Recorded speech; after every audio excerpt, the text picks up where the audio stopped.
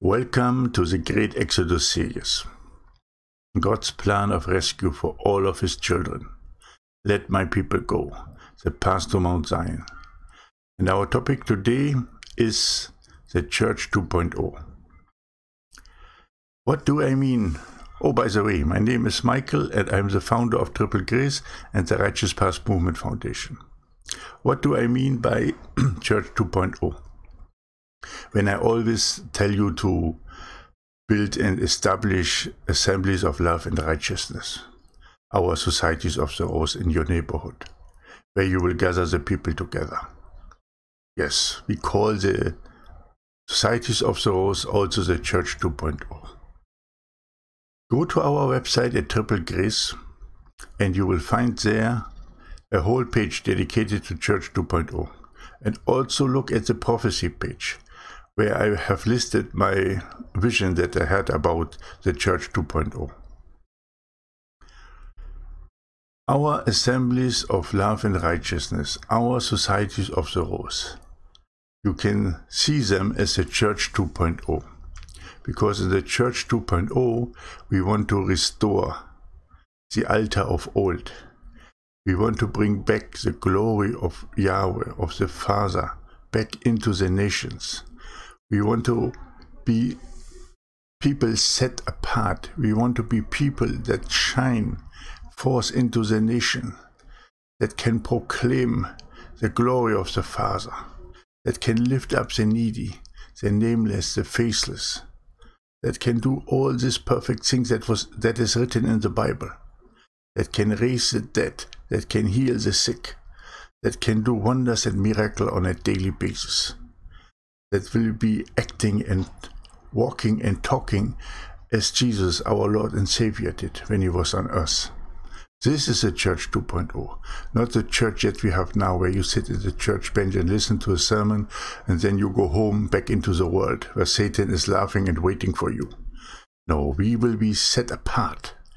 People will say, Who are these people in these assemblies of love and righteousness? They will say, Yo, these are the true children of the living God. These are the Rosarians in the societies of the Rose. And they will say, oh, these people do good every day.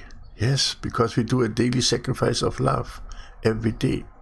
And they come together, share resources, support one another. They have no fears and they're absolutely content.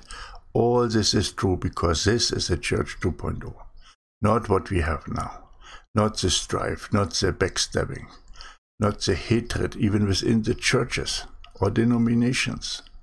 Why stand one denomination against the other one? Why have you why are you filled with religious spirits instead of the love of the Father? Come out of the old church system and establish an assembly of love and righteousness in your neighborhood, a society of sorrows. Please watch our video in the main series of the new journey to paradise where we have one whole teaching about societies of the rose. Please please watch it. There you then you will have a lot of understanding about it and you can start to build your own. If you have questions you can always mail them to me at triplegrace55 at gmail.com i will answer them immediately. So please be part.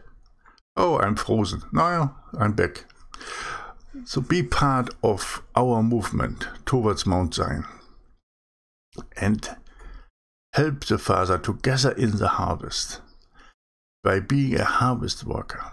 Because the fields are mighty in the nations, but the harvest workers are few. So come together in love, unity, and support on the new but proven altar. The altar that was already established at the time of Abraham and then was continued through Jesus' time. It now has come again to us. But we have to walk the righteous path, the straight path, the narrow path towards Mount Zion, not on the right, not on the left, not in the gospel of poverty, not in the gospel of prosperity, and not in the gospel of hyper grace, but taking up our cross and doing the same work as the apostle did when Jesus ascended to heaven went into the nations, and they gathered a great harvest for the Lord.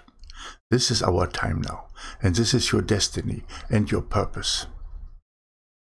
So please, be part of it.